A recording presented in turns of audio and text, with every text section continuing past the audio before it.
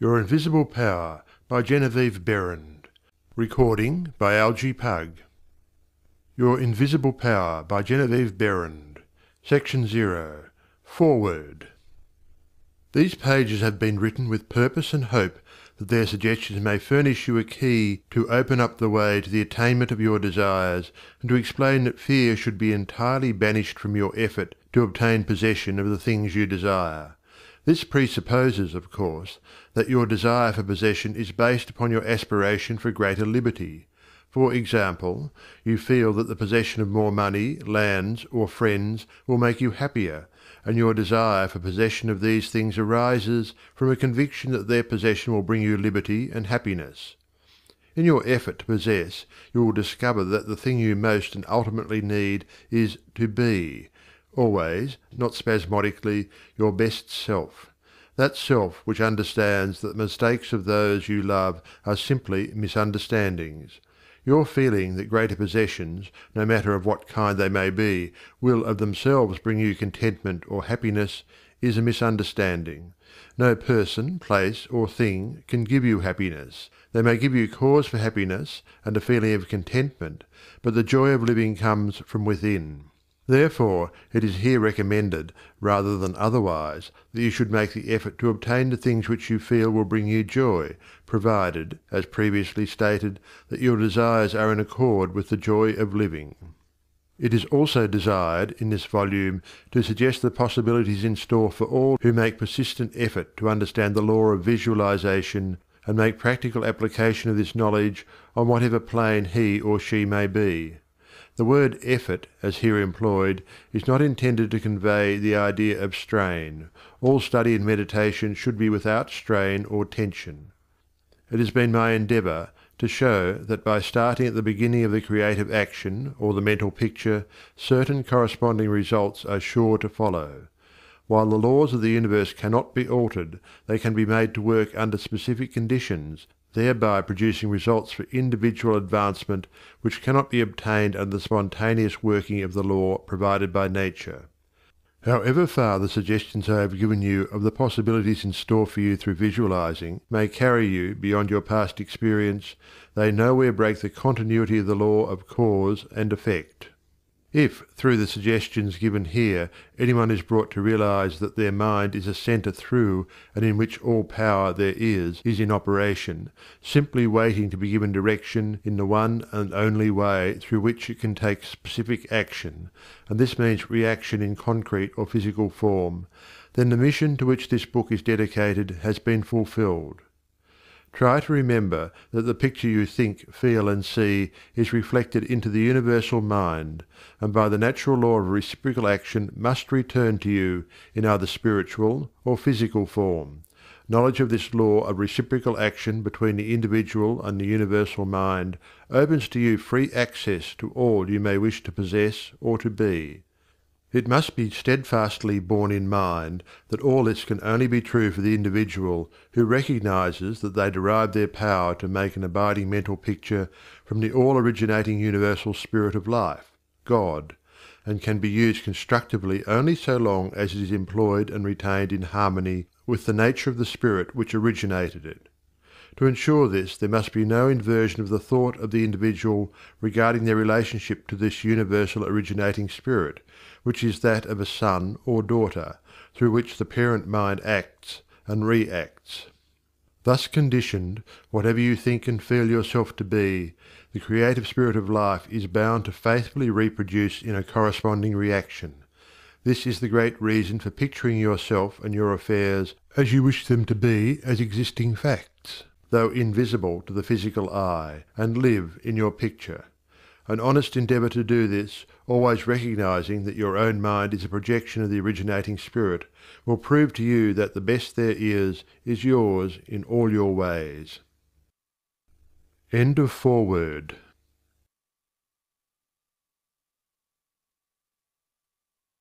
Chapter 1 Order of Visualization the exercise of the visualizing faculty keeps your mind in order and attracts to you the things you need to make life more enjoyable in an orderly way. If you train yourself in practice of deliberately picturing your desire and carefully examining it, you will soon find that your thought and desires come and proceed in more orderly procession than ever before. Having reached a state of ordered mentality, you are no longer in a constant state of mental hurry. Hurry is fear, and consequently destructive. In other words, when your understanding grasps the power to visualize your heart's desire, and hold it with your will, it attracts to you all things requisite to the fulfillment of that picture by the harmonious vibrations of the Law of Attraction. You realize that since order is Heaven's first law, and visualization places things in their natural element, then it must be a heavenly thing to visualize. Everyone visualizes, whether they know it or not. Visualizing is the great secret of success. The conscious use of this great power attracts to you greatly multiplied resources, intensifies your wisdom, and enables you to make use of advantages which you formerly failed to recognize. We now fly through the air, not because anyone has been able to change the laws of nature, but because the inventor of the flying machine learned how to apply nature's laws, and by making orderly use of them produced the desired result. So far as natural forces are concerned, nothing has changed since the beginning. There were no airplanes in the year one, because those of that generation could not conceive the idea as a practical working possibility. It has not yet been done, was the argument, and it cannot be done, yet the laws and materials for practical flying machines existed then as now. Troward tells us that the great lesson he learned from the airplane and wireless telegraphy is the triumph of principle over precedent, and the working of an idea to its logical conclusion in spite of accumulated testimony of all past experience. With such an example before you, can you not realize that still greater secrets may be disclosed? Also, that you hold the key within yourself with which to unlock the secret chamber that contains your heart's desire? All that is necessary in order that you may use this key and make your life exactly what you wish it to be, is a careful inquiry into the unseen causes which stand back of every external and visible condition. Then bring these unseen causes into harmony with your conception, and you will find that you can make practical working realities of possibilities which at present seem but fantastic dreams. We all know that the balloon was the forefather of the airplane. In 1766 Henry Cavendish, an English nobleman, proved that hydrogen gas was seven times lighter than atmospheric air, from that discovery the balloon came into existence, and from the ordinary balloon the dirigible, a cigar shaped airship, was evolved. Study of aeronautics and the laws of aerial locomotion of birds and projectiles led to the belief that mechanism could be evolved by which heavier than air machines could be made to travel from place to place, and remain in the air by the maintenance of great speed which would overcome by propulsive force the ordinary law of gravitation. Professor Langley of Washington, who developed much of the theory which others afterwards improved, was subjected to much derision when he sent a model airplane up, only to have it bury its nose in the muddy waters of the Potomac. But the Wright brothers, who experimented in the latter part of the nineteenth century, realized the possibility of travelling through the air in a machine that had no gas bag. They saw themselves enjoying this mode of transportation with great facility. It is said that one of the brothers would tell the other when their varied experiments did not turn out as they expected, "It's all right, brother, I can see myself riding in that machine, and it travels easily and steadily." Those Wright brothers knew what they wanted, and kept their pictures constantly before them. In visualizing, or making a mental picture, you are not endeavoring to change the laws of nature; you are fulfilling them. Your object in visualizing is to bring things into regular order both mentally and physically. When you realize that this method of employing the creative power brings your desires, one after another, into practical material accomplishment, your confidence in a mysterious but unfailing law of attraction, which has its central power station in the very heart of your word picture, becomes supreme. Nothing can shake it. You never feel that it is necessary to take anything from anybody else. You have learned that asking and seeking, have receiving and finding as their correlatives.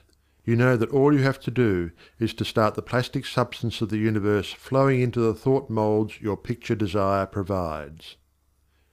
End of chapter 1chapter 2 how to attract to yourself the things you desire the power within you which enables you to form a thought picture is the starting point of all there is. In its original state it is the undifferentiated formless substance of life. Your thought picture forms the mould, so to speak, into which this formless substance takes shape. Visualizing, or mentally seeing things and conditions as you wish them to be, is the condensing, the specializing power in you that might be illustrated by the lens of a magic lantern. The magic lantern is one of the best symbols of this imaging faculty. It illustrates the working of the creative spirit on the plane of the initiative and selection, or in its concentrated specializing form, in a remarkably clear manner. This picture slide illustrates your own mental picture, invisible in the lantern of your mind until you turn on the light of your will. That is to say, you light up your desire with absolute faith that the creative spirit of life in you is doing the work. By the steady flow of light of the will on the spirit, your desired picture is projected upon the screen of the physical world, an exact reproduction of the pictured slide in your mind. Visualizing without a will sufficiently steady to inhibit every thought and feeling contrary to your picture would be as useless as a magic lantern without the light. On the other hand, if your will is sufficiently developed to hold your picture in thought and feeling, without any ifs, simply realizing that your thought is the great attracting power, then your mental picture is as certain to be projected upon the screen of your physical world as any pictured slide put into the best magic lantern ever made. Try projecting the picture in a magic lantern with a light that is constantly shifting from one side to the other, and you will have the effect of an uncertain will. It is as necessary that you should always stand back of your picture with a strong, steady will, as it is to have a strong, steady light back of a picture slide. The joyous assurance with which you can make your picture is the very powerful magnet of faith, and nothing can obliterate it. You are happier than you ever were, because you have learned to know where your source of supply is, and you rely upon its never failing response to your given direction. When all is said and done, happiness is the one thing which every human being wants, and the study of visualization enables you to get more out of life than you ever enjoyed before increasing possibilities keep opening out, more and more, before you. A businessman once told me that since practicing visualization and forming the habit of devoting a few minutes each day to thinking about his work as he desired it to be in a large, broad way, his business had more than doubled in six months. His method was to go into a room every morning before breakfast and take a mental inventory of his business as he had left it the night before, and then enlarge upon it. He said he expanded and expanded in this way until his affairs were in remarkably successful condition. He would see himself in his office doing everything that he wanted done. His occupation required him to meet many strangers every day. In his mental picture he saw himself meeting these people, understanding their needs, and supplying them in just the way they wished. This habit, he said, had strengthened and steadied his will in an almost inconceivable manner. Furthermore, by thus mentally seeing things as he wished them to be, he had acquired the confident feeling that a certain creative power was exercising itself for him and through him, for the purpose of improving his little world. When you first begin to visualize seriously, you may feel, as many others do, that someone else may be forming the same picture you are, and that, naturally, would not suit your purpose. Do not give yourself any unnecessary concern about this Simply try to realize that your picture is an orderly exercise of the universal creative power specifically applied. Then you may be sure that no one can work in opposition to you. The universal law of harmony prevents this.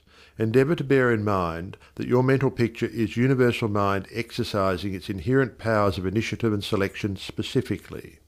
God, or universal mind, made man for the specific purpose of differentiating himself through him. Everything that is came into existence in this same way, by this self-same law of self-differentiation, and for the same purpose first the idea, the mental picture, or the prototype of the thing, which is the thing itself in its incipiency or plastic form. The great architect of the universe contemplated himself as manifesting through his polar opposite, matter, and the idea expanded and projected itself until we have a world, many worlds, Many people ask, But why should we have a physical world at all? The answer is, because it is the nature of originating substance to solidify under directivity rather than activity, just as it is the nature of wax to harden when it becomes cold, or plaster of Paris to become firm and solid when exposed to the air.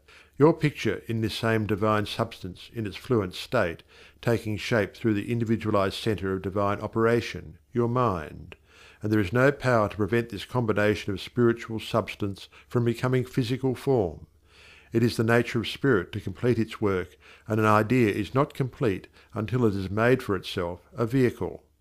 Nothing can prevent your picture from coming into concrete form except the same power which gave it birth yourself. Suppose you wish to have a more orderly room. You look about your room and the idea of order suggests boxes, closets, shelves, hooks, and so forth.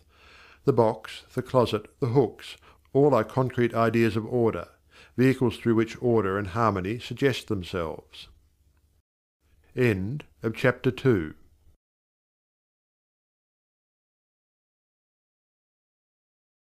Chapter 3 Relation between Mental and Physical Form Some persons feel that it is not quite proper to visualize for things. It's too material, they say. But material form is necessary for the self recognition of spirit from the individual standpoint, and this is the means through which the creative process is carried forward. Therefore, far from matter being an illusion and something that ought not to be, as some metaphysical teachers have taught, Matter is the necessary channel for the self differentiation of spirit. However, it is not my desire to lead you into lengthy and tiresome scientific reasoning, in order to remove the mystery of visualization and to put it upon a logical foundation. Naturally each individual will do this in his own way. My only wish is to point out to you the smoothest way I know, which is the road on which Troward guides me. I feel sure that you will conclude, as I have, that the only mystery in connection with visualizing is the mystery of life taking form, governed by unchangeable and easily understood laws. We all possess more power and greater possibilities than we realize, and visualizing is one of the greatest of these powers. It brings other possibilities to our observation, when we pause to think for a moment, we realize that for a cosmos to exist at all, it must be the outcome of a cosmic mind, which binds all individual minds to certain generic unities of action, thereby producing all things as realities and nothing as illusions. If you will take this thought of Troward's and meditate upon it without prejudice, you will surely realize that concrete material form is an absolute necessity of the creative process, also that matter is not an illusion but necessary channel through which life differentiates itself. If you consider matter in its right order as the polar opposite to spirit, you will not find any antagonism between them; on the contrary, together they constitute one harmonious whole. And when you realize this you feel, in your practice of visualizing, that you are working from cause to effect, from beginning to finish. In reality, your mental picture is the specialized working of the originating spirit. One could talk for hours on purely scientific lines, showing, as Troward says, that raw material for the formation of the solar systems is universally distributed throughout all space. Yet investigation shows that while the heavens are studded with millions of suns, there are spaces that show no signs of cosmic activity. This being true, there must be something which started cosmic activity in certain places, while passing over others in which the raw material was equally available. At first thought one might attribute the development of cosmic energy to the etheric particles themselves. Upon investigation, however, we find this to be mathematically impossible in a medium which is equally distributed throughout space, for all its particles are in equilibrium, therefore no one particle possesses in itself a greater power of originating motion than the other. Thus we find that the initial movement, though working in and through the particles of primary substance, is not the particles themselves, it is this something we mean when we speak of spirit. The same power that brought universal substance into existence will bring your individual thought or mental picture into physical form. There is no difference of kind in the power, the only difference is a difference of scale. The power and the substance themselves are the same; only in working out your mental picture it has transferred its creative energy from the universal to the scale of the particular, and is working in the same unfailing manner from its specific centre, your mind. End of chapter 3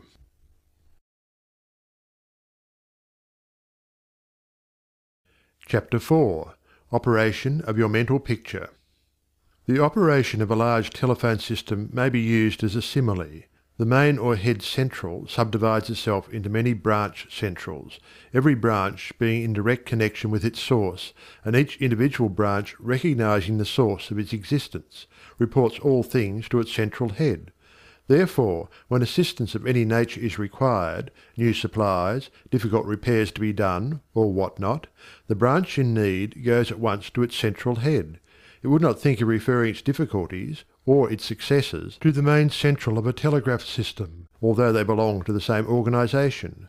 These different branch centrals know that the only remedy for any difficulty must come from the central out of which they were projected. If we, as individual branches of the universal mind, would refer our difficulties in the same confident manner to the source from which we were projected, and use the remedies that it has provided, we would realize what Jesus meant when he said, Ask, and ye shall receive. Our every requirement would be met. Surely the Father must supply the child. The trunk of the tree cannot fail to provide for its branches. Everything animate or inanimate is called into existence or outstandingness by a power which itself does not stand out. The power that creates the mental picture, the originating spirit substance of your pictured desire, does not stand out. It projects the substance of itself, that is a solidified counterpart of itself, while it remains invisible to the physical eye. Only those will ever appreciate the value of visualizing who are able to realize Paul's meaning when he said, the worlds were formed by the word of God. Things which are seen are not made of things which do appear. There is nothing unusual or mysterious in the idea of your pictured desire coming into material evidence. It is the working of a universal natural law. The world was projected by the self contemplation of the universal mind, and this same action is taking place in its individualized branch, which is the mind of man. Everything in the whole world has its beginning in mind, and comes into existence in exactly the same manner from the hat on your head to the boots on your feet. All are projected thoughts, solidified. Your personal advance in evolution depends upon your right use of the power of visualizing, and your use of it depends on whether you recognize that you, yourself, are a particular center through and in which the originating spirit is finding ever new expression for potentialities already existing within itself.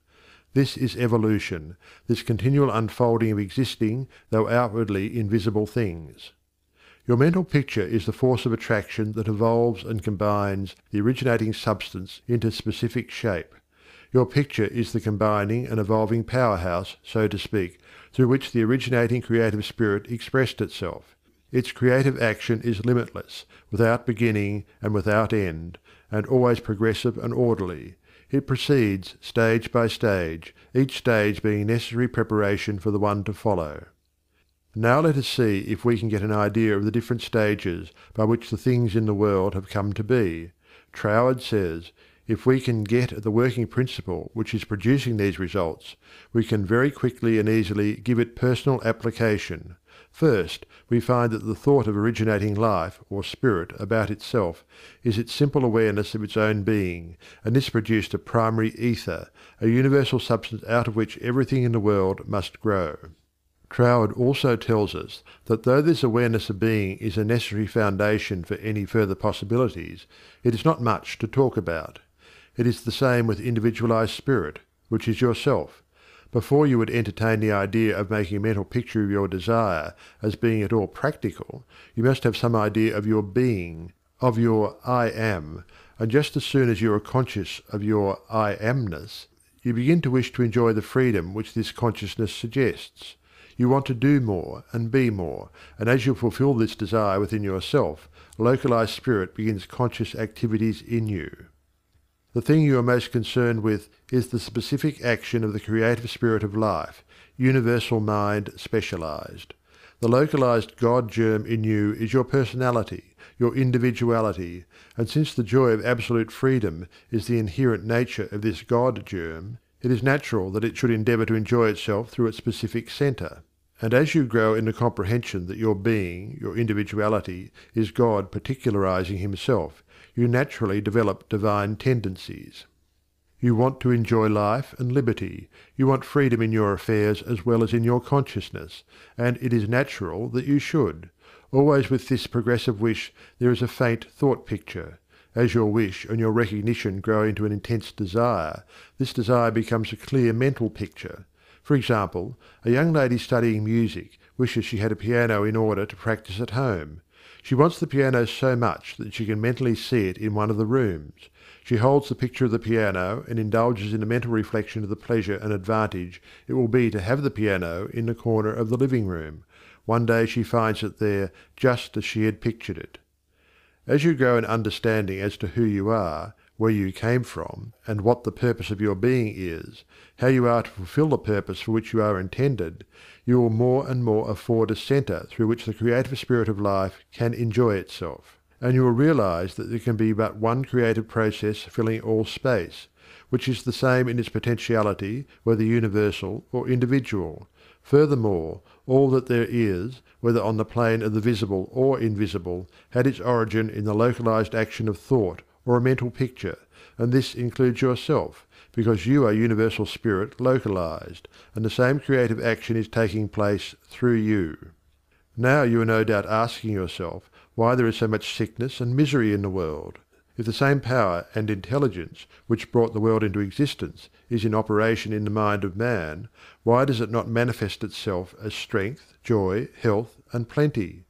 If one can have one's desires fulfilled by simply making a mental picture of that desire, holding on to it with the will, and doing without anxiety on the outward plane whatever seems necessary to bring the desire into fulfillment, then there seems no reason for the existence of sickness and poverty. Surely no one desires either. The first reason is that few persons will take the trouble to inquire into the working principle of the laws of life. If they did, they would soon convince themselves that there is no necessity for the sickness and poverty that we see about us. They would realize that visualizing is a principle and not a fallacy. There are a few who have found it worth while to study this simple, though absolutely unfailing law that will deliver them from bondage. However, the race as a whole is not willing to give the time required for this study. It is either too simple or too difficult. They may make a picture of their desire, with some little understanding of visualizing, for a day or two, but more frequently it is for an hour or two.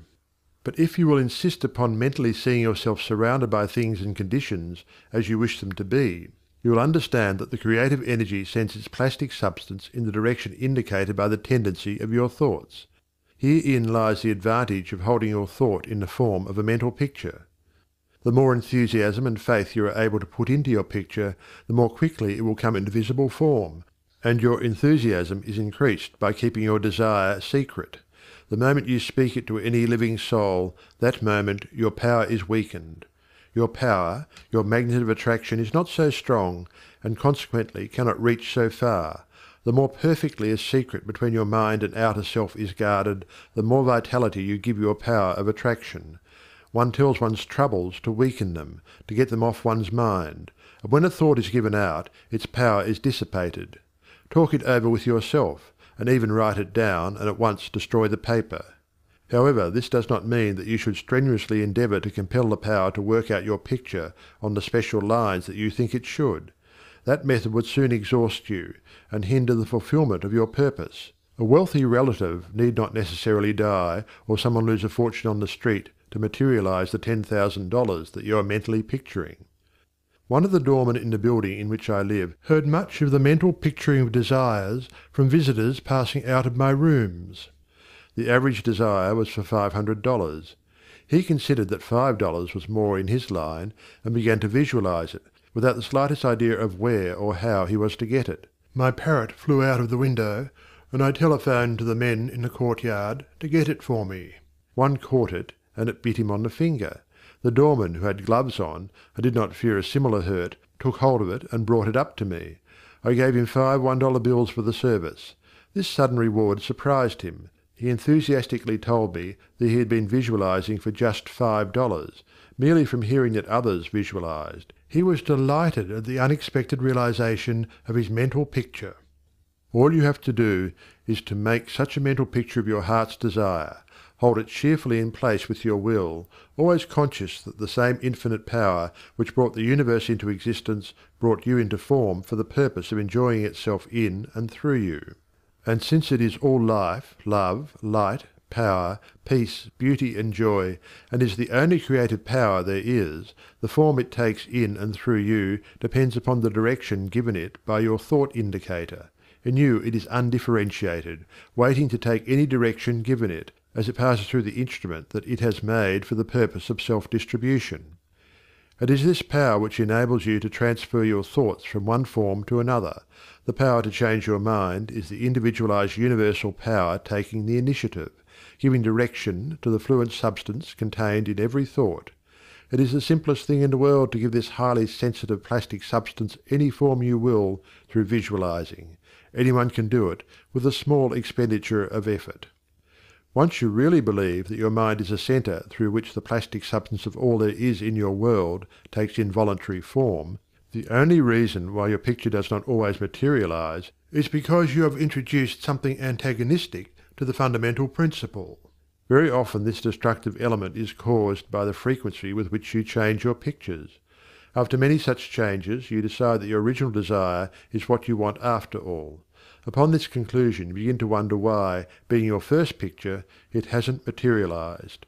The plastic substance with which you are mentally dealing is more sensitive than the most sensitive photographer's film. If, in taking a picture, you suddenly remember that you had already taken a picture on that same plate, you would not expect a perfect result of either picture.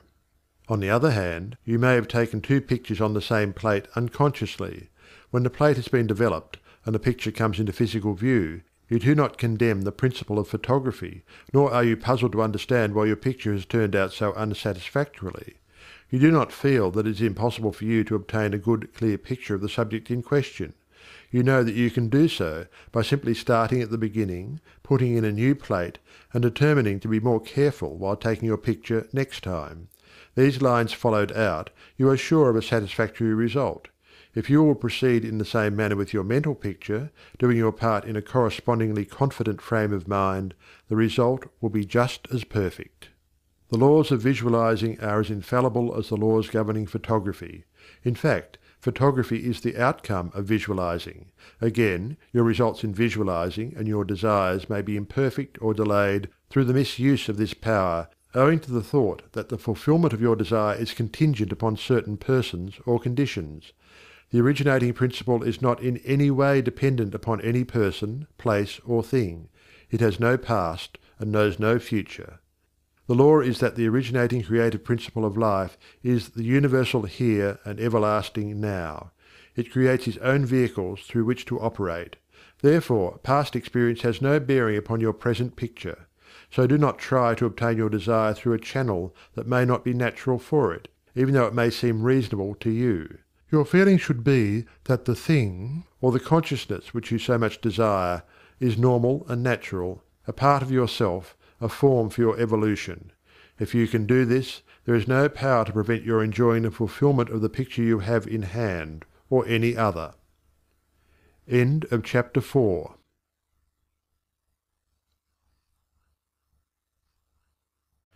Chapter 5 Expressions from Beginners Hundreds of persons have realized that visualizing is an Aladdin's lamp to him with a mighty will. General Foch says that his feelings were so outraged during the Franco-Prussian War in 1870 that he visualized himself leading a French army against the Germans to victory. He said he made his picture, smoked his pipe, and waited. This is one result of visualizing we are all familiar with. A famous actress wrote a long article in one of the leading Sunday papers last winter, describing how she rid herself of excessive body fat and weight by seeing her figure constantly as she wished it to be. A very interesting letter came to me from a doctor's wife while I was lecturing in New York. She began with the hope that I would never discontinue my lectures on visualization, making humanity realize the wonderful fact that they possess the method of liberation within themselves. Relating her own experience, she said that she had been born on the east side of New York in the poorest quarter.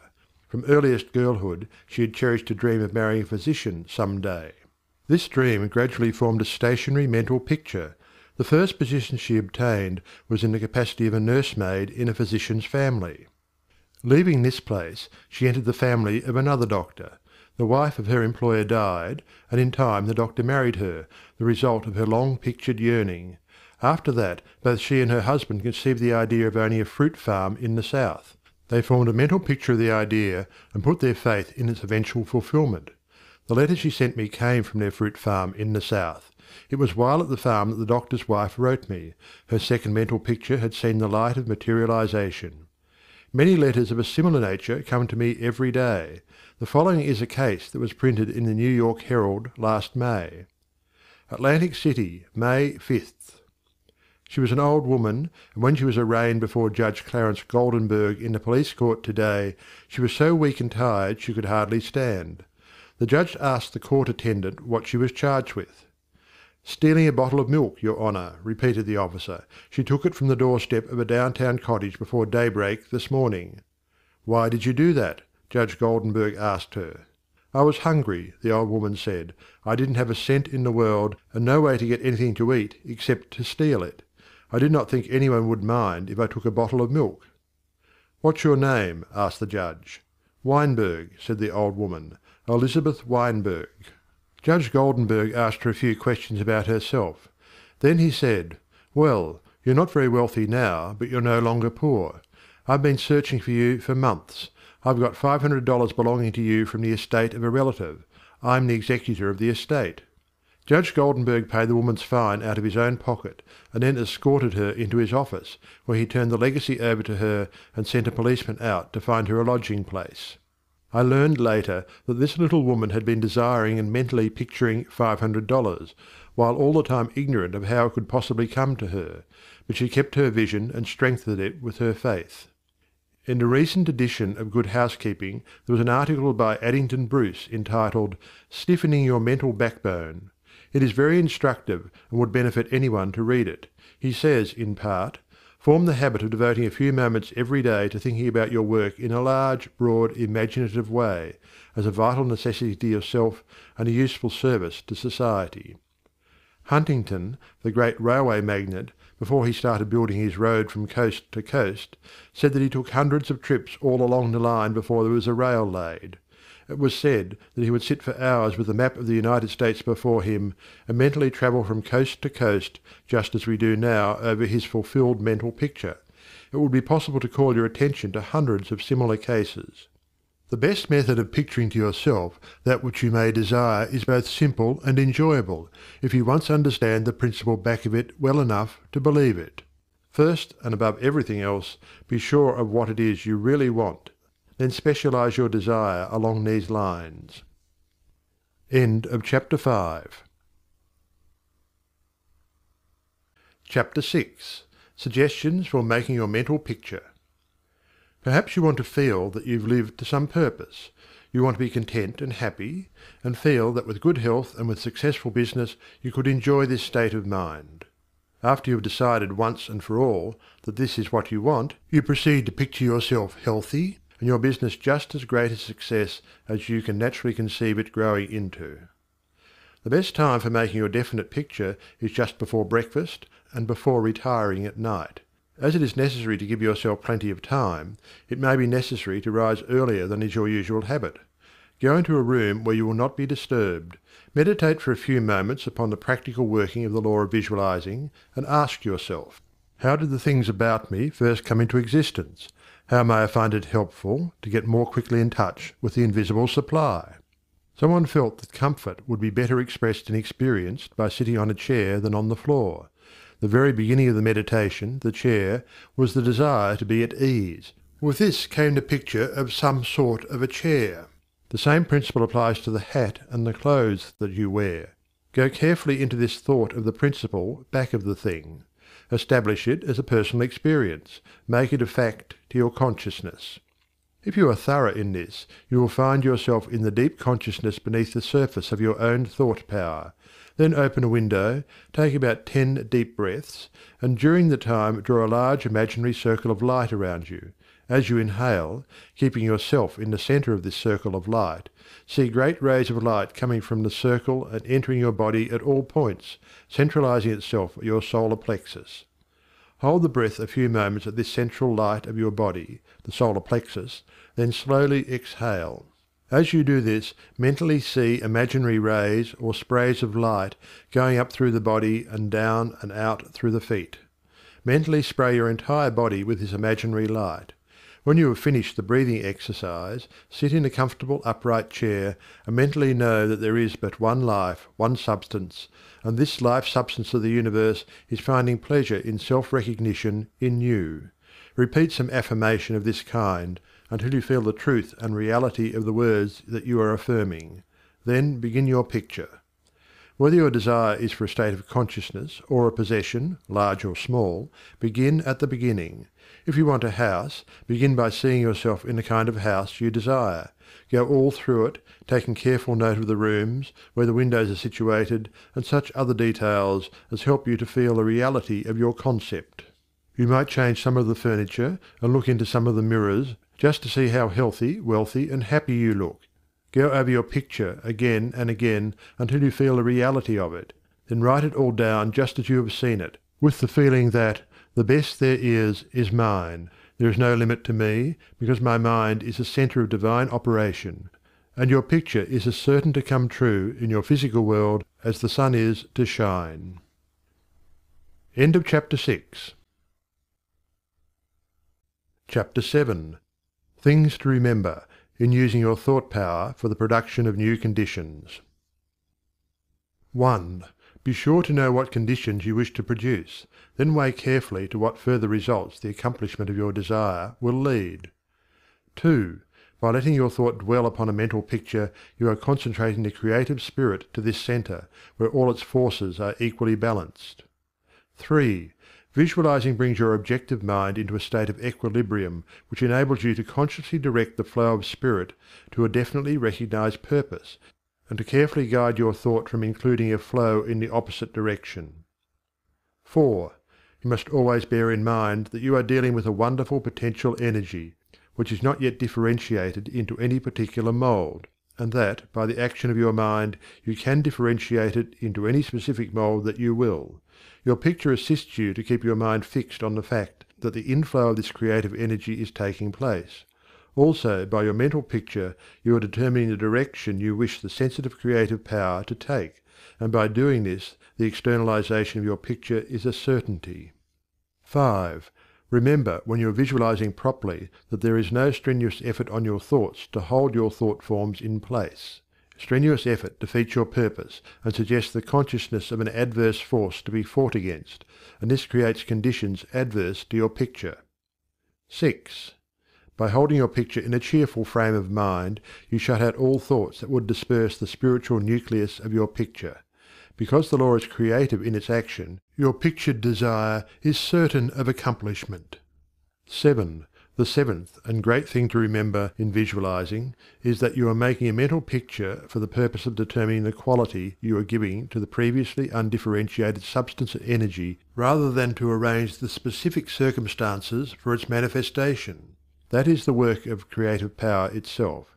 It will build its own forms of expression quite naturally, if you will allow it, and save you a great deal of needless anxiety.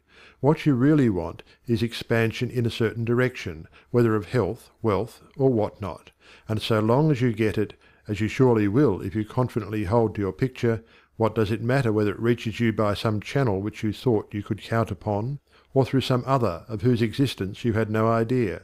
You are concentrating energy of a particular kind for a particular purpose. Bear this in mind, and let specific details take care of themselves, and never mention your intention to anyone. Remember always that Nature from her clearly visible surface to her most arcane depths is one great storehouse of light and good entirely devoted to your individual use. Your conscious oneness with the great whole is the secret of success, and when once you have fathomed this you can enjoy your possession of the whole or a part of it at will, because by your recognition you have made it, and can increasingly make it, yours. Never forget that every physical thing, whether for you or against you, was a sustained thought before it was a thing. Thought as thought is neither good nor bad; it is creative action and always takes physical form. Therefore the thoughts you dwell upon become the things you possess or do not possess. End of chapter 7 Chapter 8 Why I took up the study of Mental Science. I have frequently been questioned about my reasons for taking up the study of Mental Science, and as to the results of my search, not only in knowledge of principles, but also in the application of that knowledge to the development of my own life and experience. Such inquiries are justifiable, because one who essays the role of a messenger and teacher of psychological truths can only be effective and convincing as he or she has tested them in the laboratory of mental experience. This is particularly true in my case, as the only personal pupil of Thomas Troward, the greatest master of mental science of the present day, whose teaching is based upon the relation borne by the individual mind toward the universal creative mind, which is the giver of life and the manner in which that relation may be invoked to secure expansion and fuller expression in the individual life. The initial impulse toward the study of mental science was an overwhelming sense of loneliness.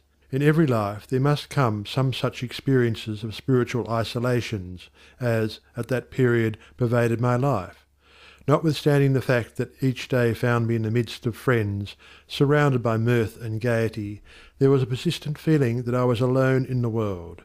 I had been a widow for about three years, wandering from country to country, seeking for peace of mind. The circumstances and surroundings of my life were such that my friends looked upon me as an unusually fortunate young woman. Although they recognized that I had sustained a great loss when my husband died, they knew that he had left me well provided for, free to go anywhere at pleasure, and having many friends. Yet if my friends could have penetrated my inmost emotions, they would have found a deep sense of emptiness and isolation. This feeling inspired a spirit of unrest that drove me on and on in fruitless search upon the outside for that which I later learned could only be obtained from within.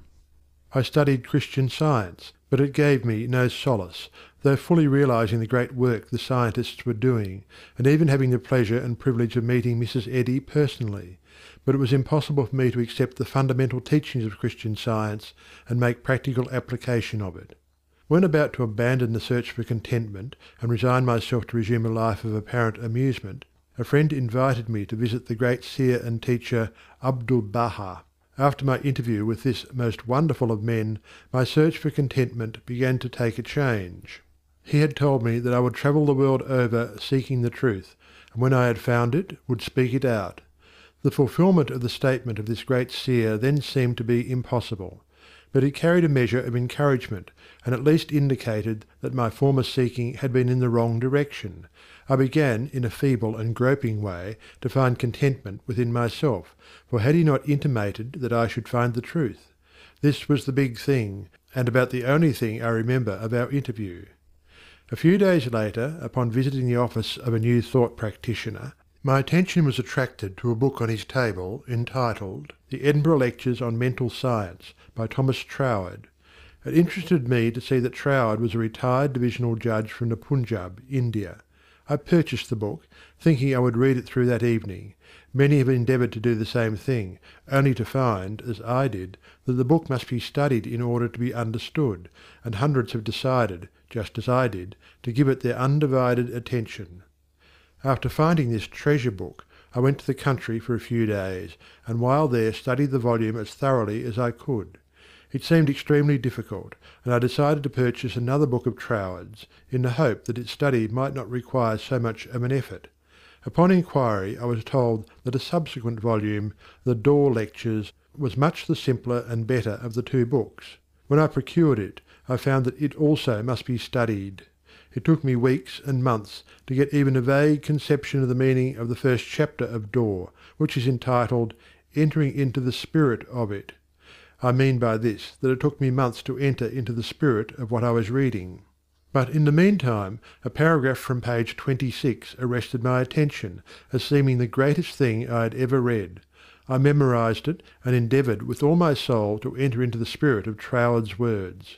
The paragraph reads, My mind is a centre of divine operation, the divine operation is always for expansion and fuller expression, and this means the production of something beyond what has gone before, something entirely new, not included in the past experience, though proceeding out of it by an orderly sequence of growth.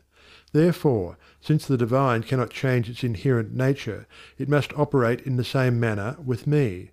Consequently, in my own special world of which I am the centre, it will move forward to produce new conditions, always in advance of any that have gone before. It took an effort on my part to memorize this paragraph, but in the endeavor towards this end the words seemed to carry with them a certain stimulus. Each repetition of the paragraph made it easier for me to enter into the spirit of it. The words expressed exactly what I had been seeking for. My one desire was for peace of mind. I found it comforting to believe that the divine operation in me could expand to fuller expression and produce more and more contentment in fact, a peace of mind and a degree of contentment greater than I had ever known. The paragraph further inspired me with deep interest to feel that the life spark in me could bring into my life something entirely new. I did not wish to obliterate my past experience, but that was exactly what Troward said it would not do. The divine operation would not exclude my past experience, but proceeding out of them would bring some new thing that would transcend anything that I had ever experienced before. Meditation on these statements brought with it a certain joyous feeling.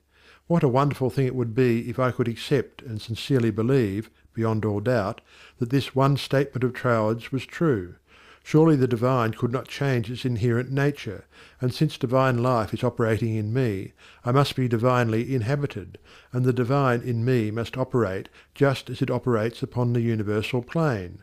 This meant that my whole world of circumstances, friends, and conditions would ultimately become a world of contentment and enjoyment of which I am the centre. This would all happen just as soon as I was able to control my mind, and thereby provide a concrete centre around which the divine energies could play. Surely it was worth trying for.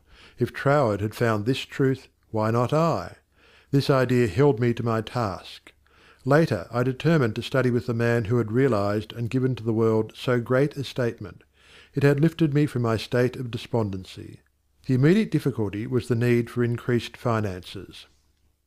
End of chapter 8.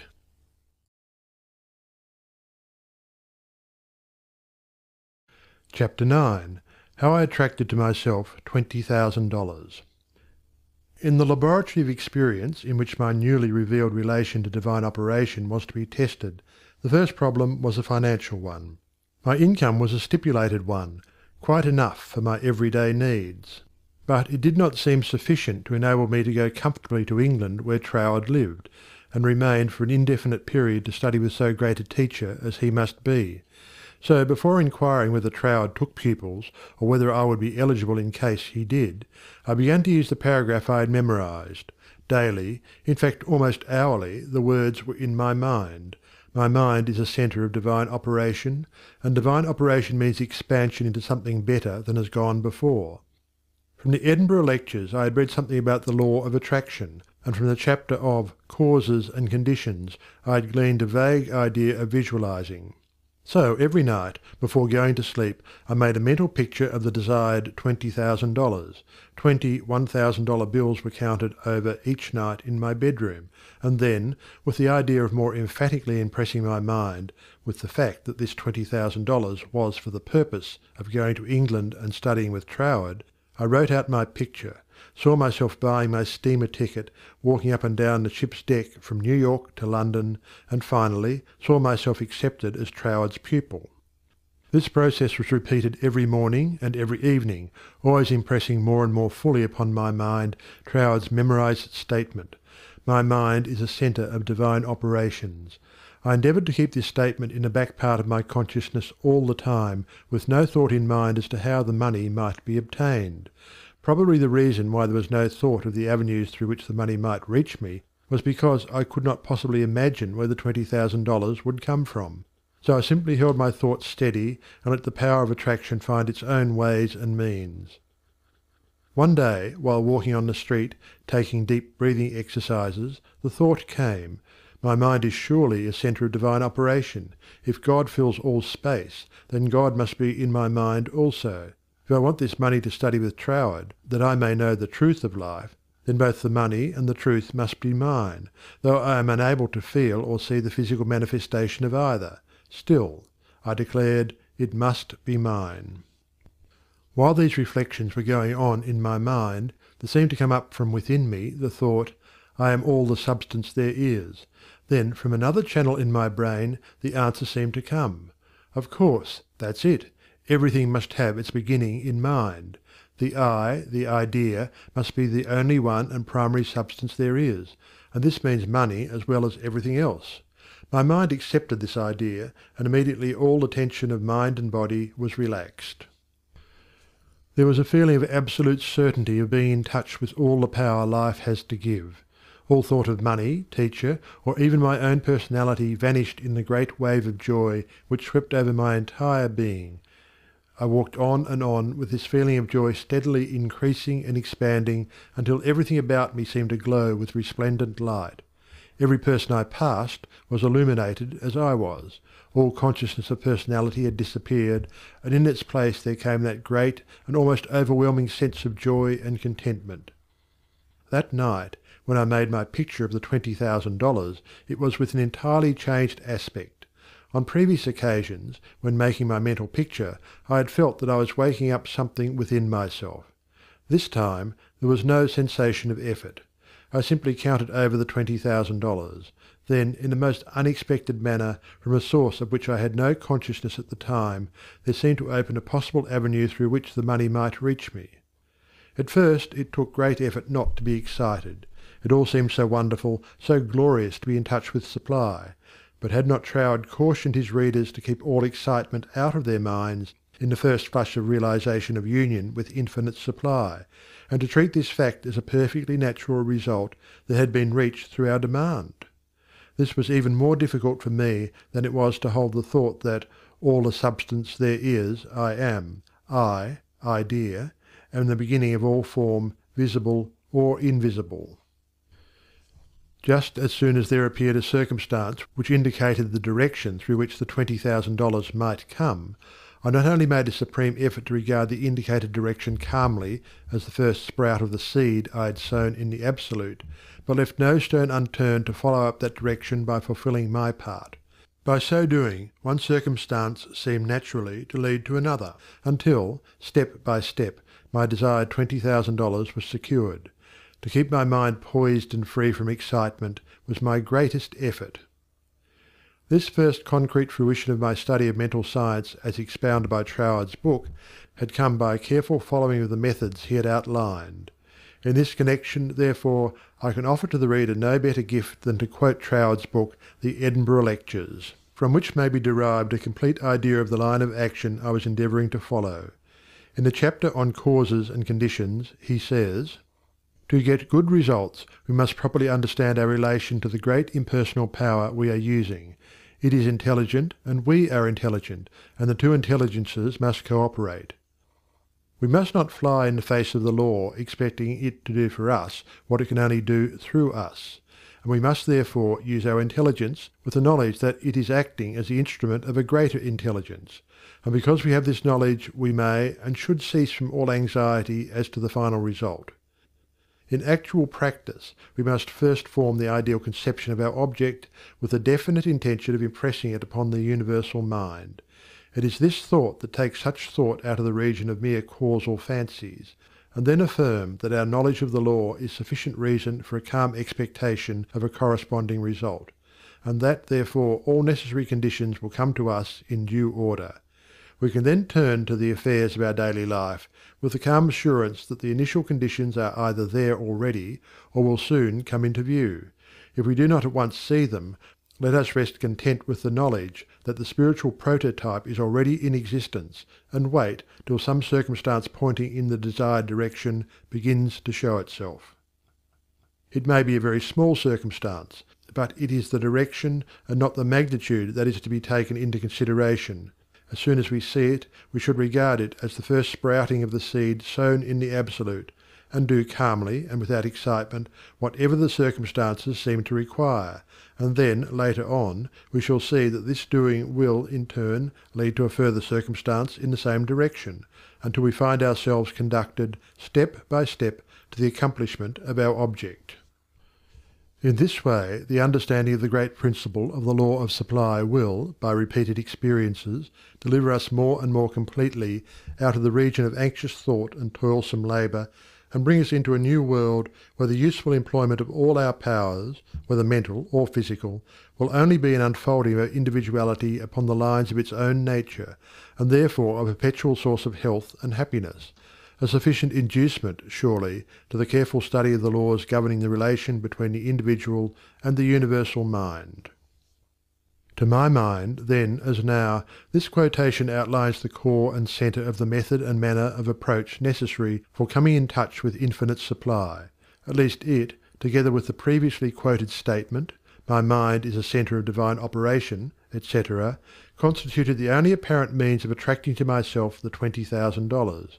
My constant endeavour to get into the spirit of these statements, and to attract to myself this needed sum, was about six weeks, at the end of which time I had in my bank the required twenty thousand dollars. This could be made into a long story, giving all the details, but the facts, as already narrated, will give you a definite idea of the magnetic condition of my mind while the twenty thousand dollars was finding its way to me. End of chapter 9.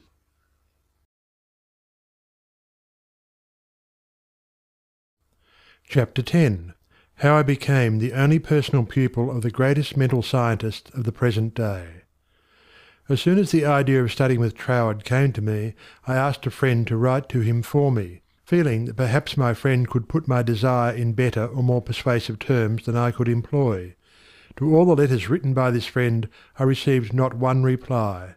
This was so discouraging that I would have completely abandoned the idea of becoming Troward's pupil except for the experience I had that day on the street when my whole world was illuminated, and I remembered the promise, All things whatsoever thou wilt, believe thou hast received, and thou shalt receive. With this experience in my mind, my passage to England was arranged, notwithstanding the fact that apparently my letters were ignored. We wrote again, however, and finally received a reply, very courteous, though not very positive. Troward did not take pupils; he had no time to devote to a pupil.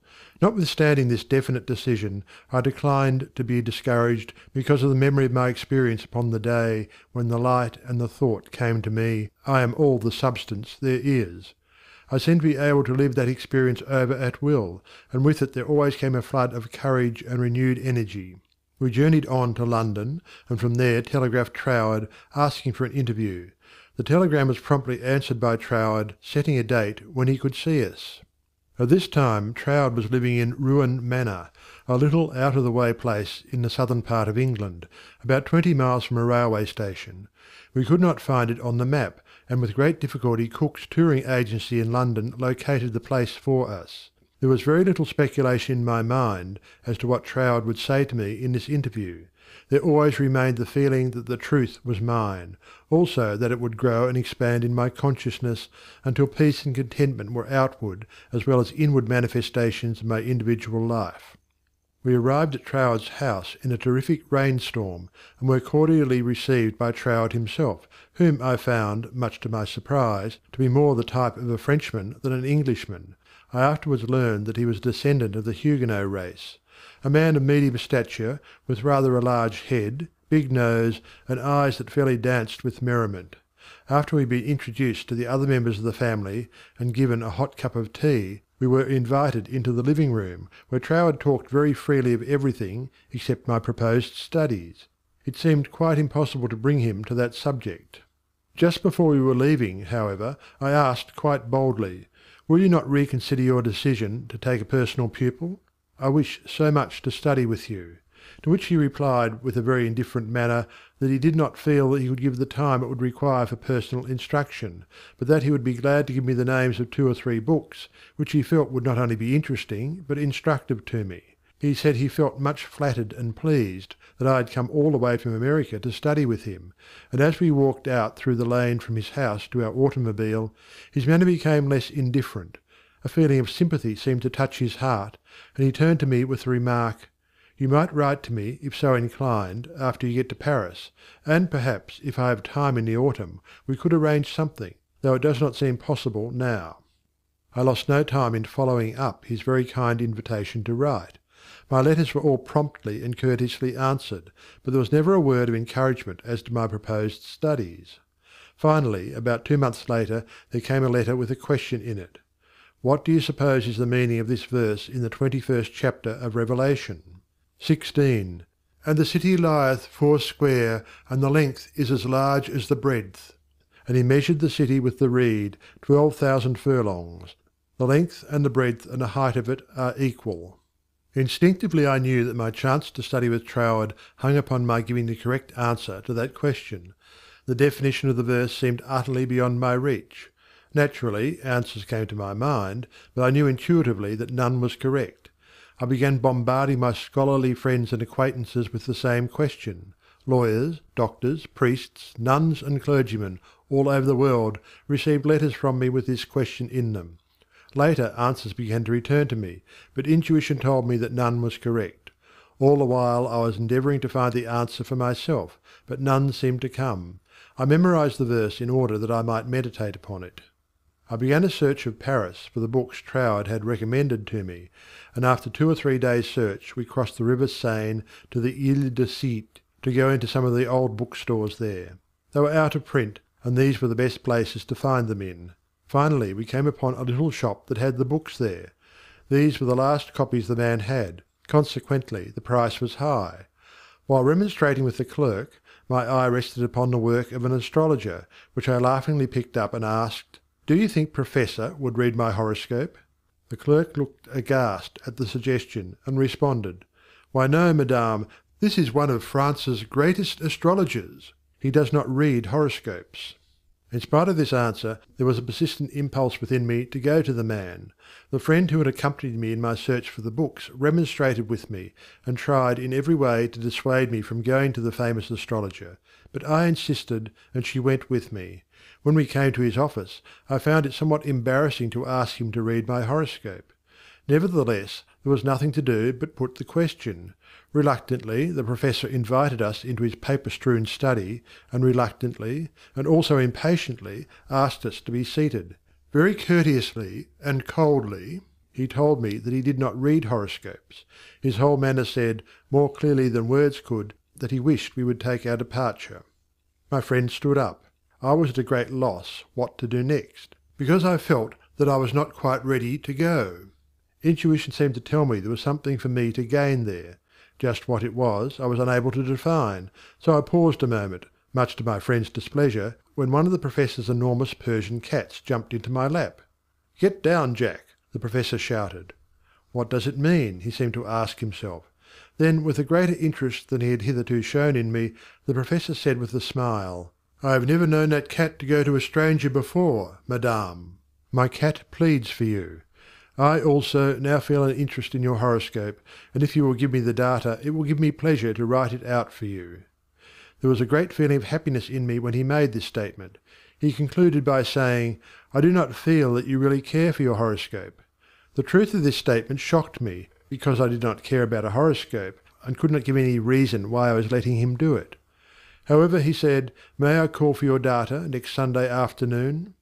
On Sunday afternoon, at the appointed time, the Professor arrived, and I was handing him the slip of paper with all the data of my birth, etc., when the idea came to me to ask the Professor for the answer to the question about the sixteenth verse of the twenty first chapter of Revelation.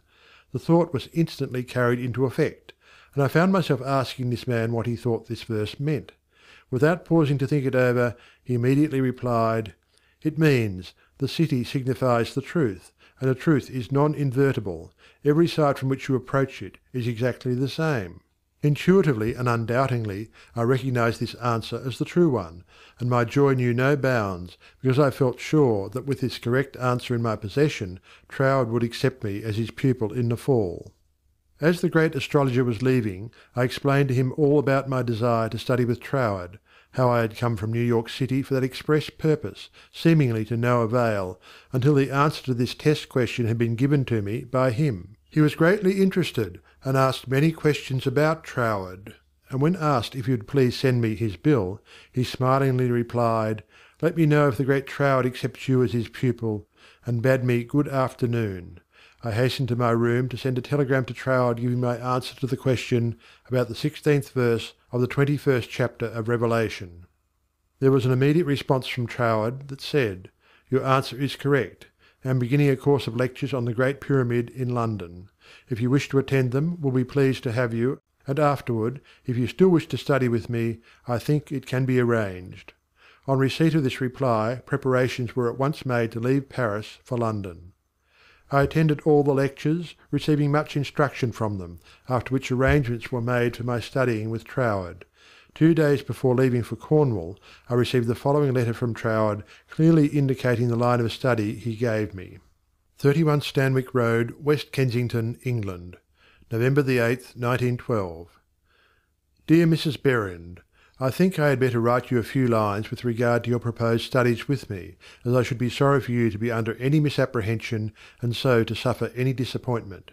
I have studied the subject now for several years, and have a general acquaintance with the leading features of most of the systems which, unfortunately, occupy attention in many circles at the present time, such as Theosophy, the Tarot, the Cabala, and the like, and I have no hesitation in saying that to the best of my judgment all sorts and descriptions of so called occult study are in direct opposition to the real life giving truth, and, therefore, you must not expect any teaching on such lines as these.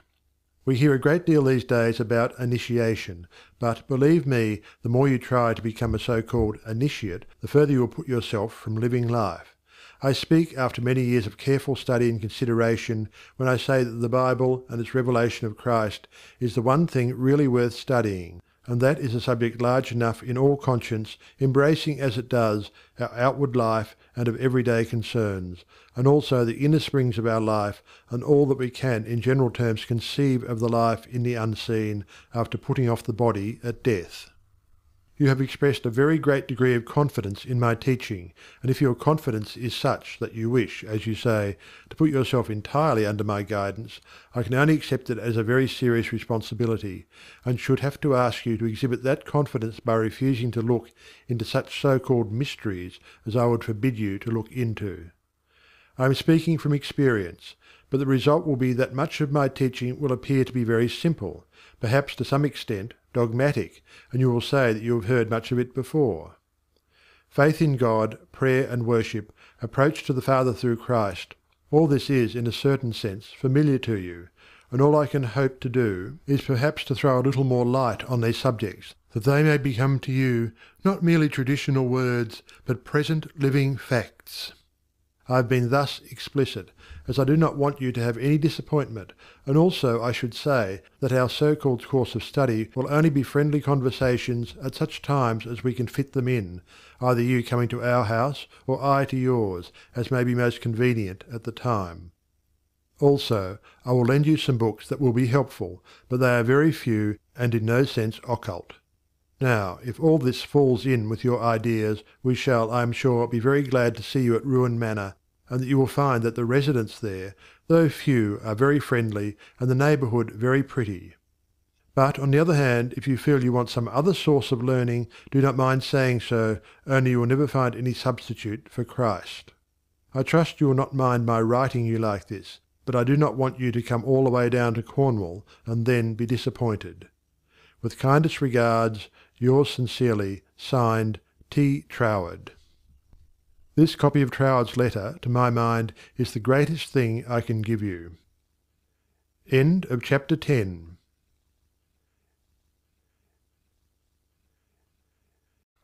Chapter 11 How to bring the power in your word into action. In your every word there is the power germ that expands and projects itself in the direction your word indicates, and ultimately develops into physical expression. For example, you wish to establish joy in your consciousness. Just repeat the word joy secretly, persistently, and emphatically. The joy germ begins to expand and project itself until your whole being is filled with joy. This is not a mere fancy, but a truth. Once you experience this power, you will daily prove that these facts have not been fabricated to fit a theory, but the theory has been built up by careful observation of facts. Everyone knows that joy comes from within. Another may give you cause for joy, but no one can be joyous for you.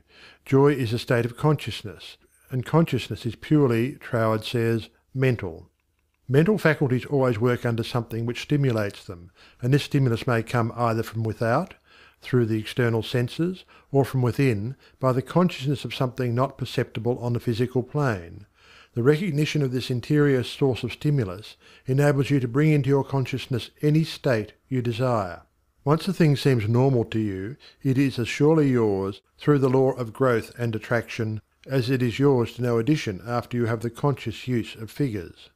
This method of repeating the word makes the word in all its limitless meaning yours, because words are the embodiment of thoughts, and thought is creative, neither good nor bad, simply creative. This is the reason why faith builds up and fear destroys. Only believe and all things are possible unto you.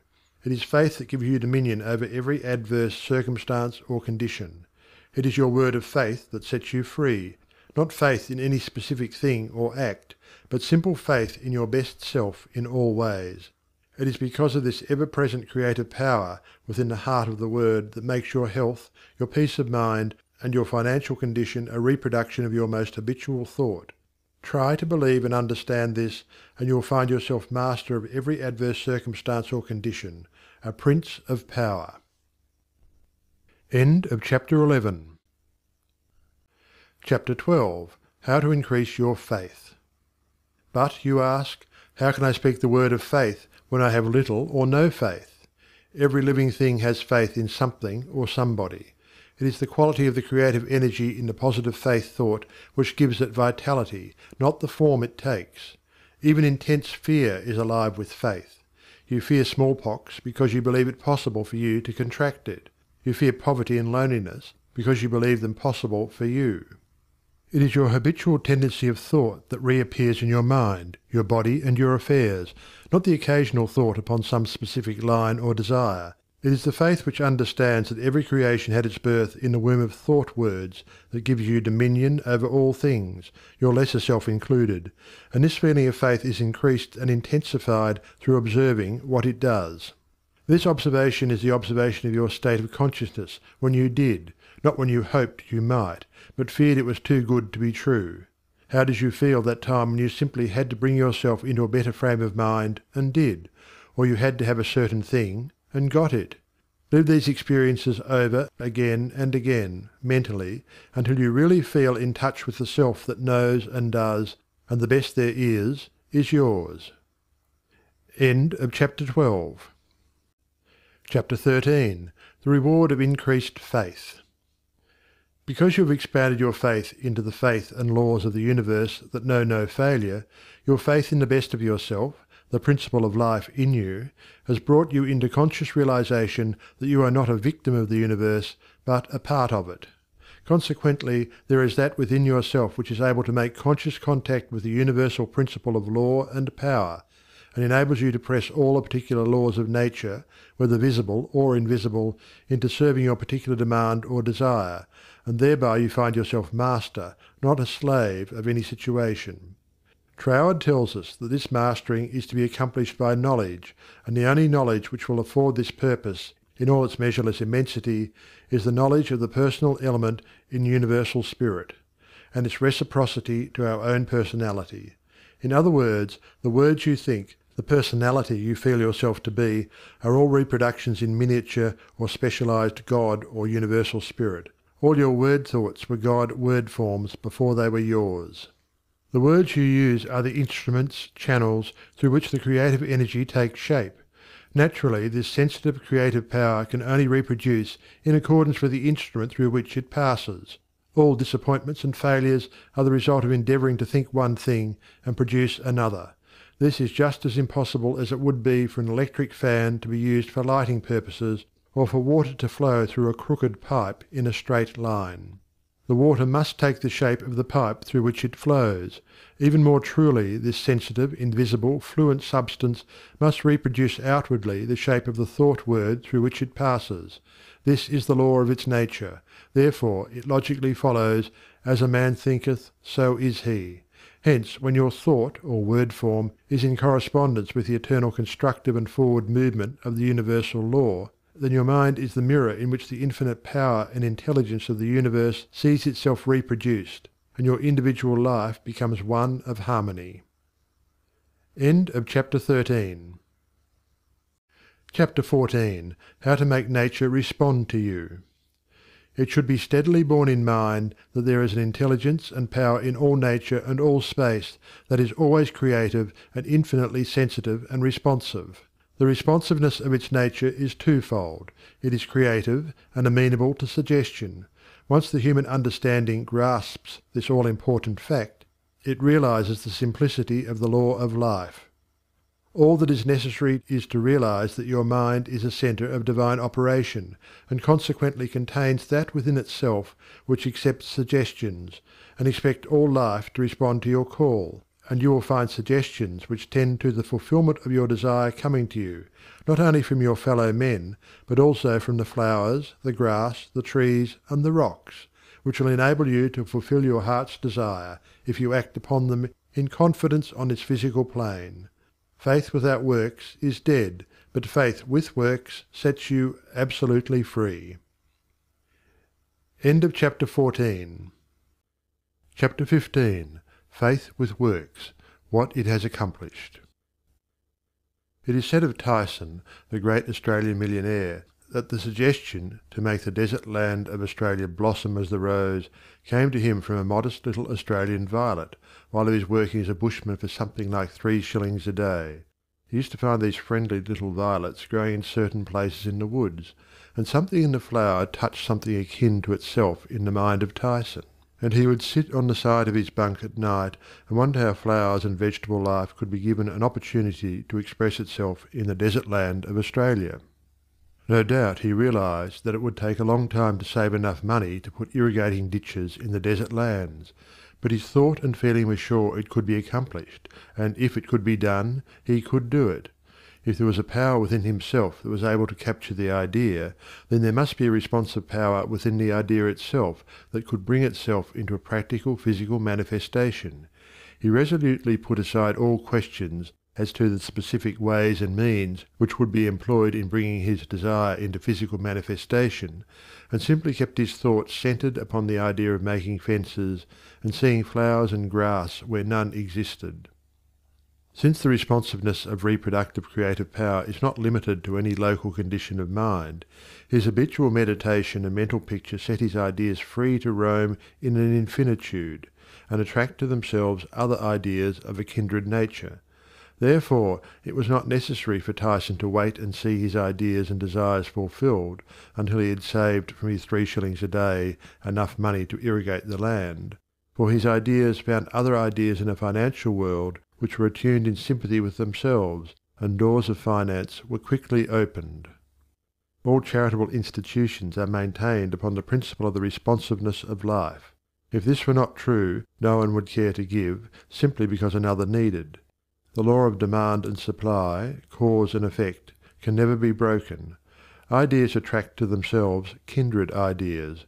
Sometimes they come from a flower, a book, or out of the invisible. You are sitting or walking, intent upon an idea not quite complete as to the ways and means of fulfilment, and behold along comes another idea, from no one can tell where, and finds friendly lodging with your idea, one idea attracting another, and so on until your desires are physical facts. You may feel the necessity for an improvement in your finances, and wonder how this increase can be brought about, when there seems to suddenly come from within the idea that everything had its birth in thought, even money, and your thoughts turn their course. You simply hold to the statement or affirmation that the best, and all there is, is yours, since you are able to capture ideas from the infinite through the instrument of your intuition, you let your mind rest upon that thought, knowing full well that this very thought will respond to itself. Your inhibition of the thought of doubt and feeling of anxiety enables the reassuring ideas to establish themselves and attract to themselves I can and I will ideas, which gradually grow into physical form of the desire in mind. In the conscious use of the universal power to reproduce your desires in physical form, three facts should be borne in mind. First, all space is filled with a creative power. Second, this creative power is amenable to suggestion. Third, it can only work by deductive methods. As Troward tells us, this last is an exceedingly important point, for it implies that the action of the ever present creative power is in no way limited by precedent. It works according to the essence of the spirit of the principle. In other words, this universal power takes its creative direction from the word you give it. Once man realizes this great truth, it becomes the most important of all his consideration with what character this sensitive reproductive power is invested. It is the unvarying law of this creative life principle that as a man thinketh in his heart, so is he. If you realize the truth that the only creative power can be to you only what you feel and think it to be, it is willing and able to meet your demands. Troward says, If you think your thought is powerful, then your thought is powerful. As a man thinketh in his heart, so is he, is the law of life, and the creative power can no more change this law than an ordinary mirror can reflect back to you a different image than the object you hold before it. As you think, so are you, does not mean as you tell people you think, or as you would wish the world to believe you think. It means your innermost thoughts, that place where no one but you knows. None can know the Father save the Son, and no one can know the Son but the Father. Only the reproductive creative spirit of life knows what you think until your thoughts become physical facts and manifest themselves in your body, your brain, or your affairs. Then everyone with whom you come in contact may know, because the Father, the intelligent creative energy which heareth in secret, hears your most secret thoughts, rewards you openly, reproduces your thoughts in physical form. As you think you know, that is what you become, should be kept in the background of your mind constantly. This is watching and praying without ceasing. And when you are not feeling quite up to par physically, pray. End of chapter 15 Suggestions as to how to pray or ask, believing you have already received. Scientific thinking, positive thought.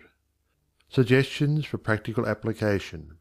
Try, through careful, positive, enthusiastic, though not strenuous, thought, to realize that the indescribable, invisible substance of life fills all space, that its nature is intelligent, plastic, subjective substance. Five o'clock in the morning is the best time to go into this sort of meditation. If you will retire early every night for one month, before falling asleep impress firmly upon your subjective mind the affirmation my Father is the ruler of all the world, and is expressing his directing power through me. You will find that the substance of life takes form in the moulds of your thoughts. Do not accept the above suggestion simply because it is given to you. Think it over carefully until the impression is made upon your own subconscious mind understandingly. Rise every morning, as was suggested before, at five o'clock sit in a quiet room in a straight backed chair and think out the affirmation of the previous evening, and you will realize and be able to put into practice your princely power with the realization to some extent, at least, that your mind really is a center through which all the creative energy and power there is is taking form. Scientific Prayer. The principle underlying scientific prayer.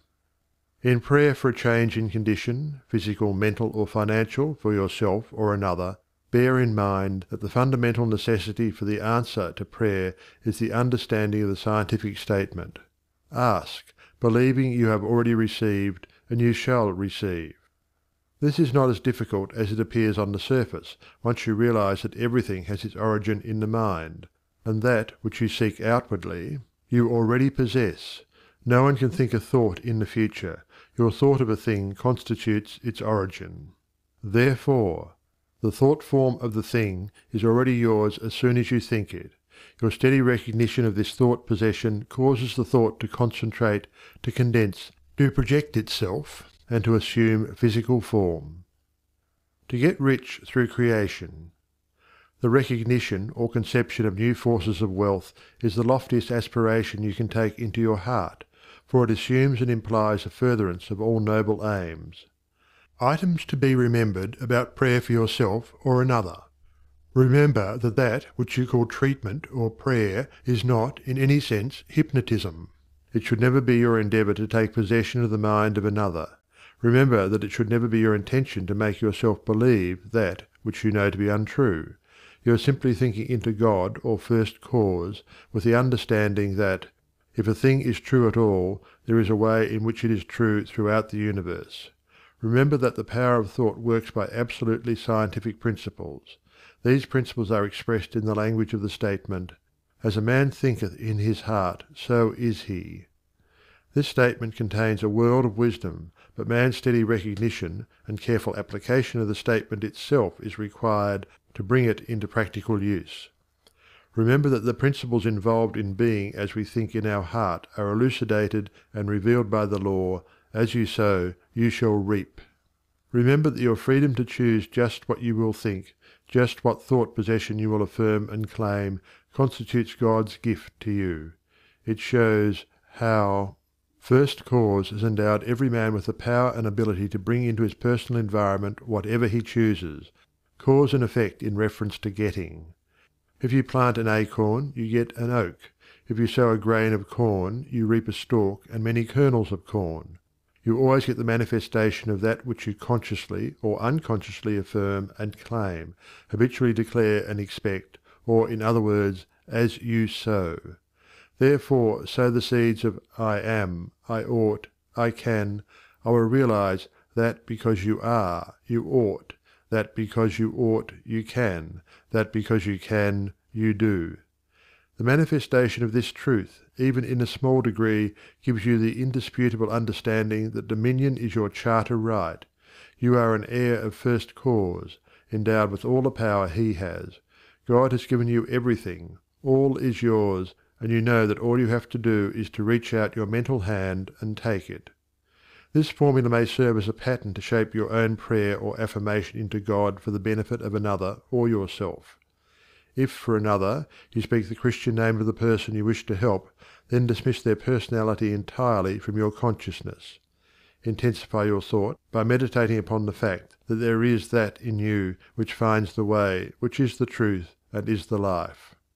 You are affirming this fact, believing that since you are thinking this it is already yours.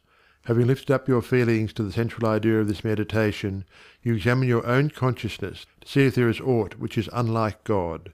If there is any feeling of worry, fear, malice, envy, hatred, or jealousy, turn back in your meditation to cleanse your thought through the affirmation that God's love and purity fill all space, including your heart and soul. Reconcile your thought with the love of God, always remembering that "you are made in the image and likeness of love."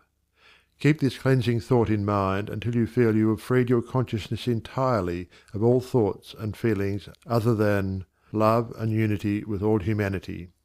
Then if denials do not disturb you, deny all that is unlike your desired manifestation. This accomplished, you almost overlay your denial with the affirmative thought that you are made in the image and likeness of God, and that you already have your desire fulfilled in its first, its original spiritual or thought form. Closing of Prayer. Prayer as a method of thought is the deliberate use of the law which gives you the power of dominion over everything which tends in any way to hamper your perfect liberty. You have been given life that you may enjoy it more and more fully. The steady recognition of this truth makes you declare yourself a Prince of Power. You recognize, accept, and use this power as a child of a king, and hence dominion is your birthright. Then when you feel the light of this great truth flooding your consciousness, open the floodgates of your soul in heartfelt praise that you have the understanding that "the Creator and his creation are one." Also that the Creator is continually creating through his creation. Close your treatment in the happy assurance that the prayer which is fulfilled is not a form of supplication, but a steady habitual affirming that the Creator of all creation is operating specifically through you. Therefore the work must be perfectly done. Your mind is a center of divine operation. Hints for application and practice. For every five minutes given to reading and study of the theories of Mental Science, spend fifteen minutes in the use and application of the knowledge acquired. 1. Spend one minute in every twenty four hours in conscientiously thinking over the specification that must be observed in order to have your prayers answered. 2. Practice the steady recognition of desirable thought possession for two periods of fifteen minutes each every day. Not only time yourself each period to see how long you can keep a given conception before your mental vision, but also keep a written record of the vividness with which you experience your mental image. Remember that your mental senses are just as varied and trainable as your physical ones. 3. Spend five minutes every day between 12 noon and 1 o'clock with a mental search for new sources of wealth. End of chapter 16. Chapter 17 Things to Remember Remember that the greatest mental scientist the world has ever known, Jesus Christ, the man, said that all things are possible unto you. Also, the things I do, you can do. Did he tell the truth? Jesus did not claim to be more divine than you are. He declared the whole human race children of God. By birth he was no exception to this rule. The power he possessed was developed through his personal effort. He said you could do the same if you would only believe in yourself. A great idea is valueless unless accompanied by physical action. God gives the idea, man works it out on the physical plane. All that is really worthwhile is contentment. Self command alone can produce it. The soul and body are one. Contentment of mind is contentment of soul, and contentment of soul means contentment of body. If you wish health, watch your thoughts, not only of your physical being, but your thoughts about everything and everybody. With your will keep them in line with your desire, and outwardly act in accordance with your thoughts, and you will soon realize that all power both over thoughts and conditions has been given to you. You believe in God. Believe in yourself as the physical instrument through which God operates Absolute dominion is yours when you have sufficient self mastery to conquer the negative tendency of thoughts and actions. Ask yourself daily, What is the purpose of the power which put me here? How can I work with the purpose for life and liberty in me? Upon having decided these questions, endeavor hourly to fulfill them. You are a law unto yourself. If you have a tendency to overdo anything, eat, drink, or blame circumstances for your misfortune, Conquer that tendency with the inward conviction that all power is yours outwardly. Eat less, drink less, blame circumstances less, and the best there is will gradually grow into the place where the worst seem to be. Always remember that all is yours to use as you will. You can if you will. If you will, you do. God the Father blesses you with all he has to give. Make good godly use of it. The reason for greater success when you first began your studies and demonstrations in mental science is that your joy and enthusiasm at the simple discovery of the power within was greater than you have been able to put into your understanding later. With increased understanding put increasing joy and enthusiasm, and the results will correspond. End of chapter 17. End of Your Invisible Power by Genevieve Behrend. Read by Algie Pug.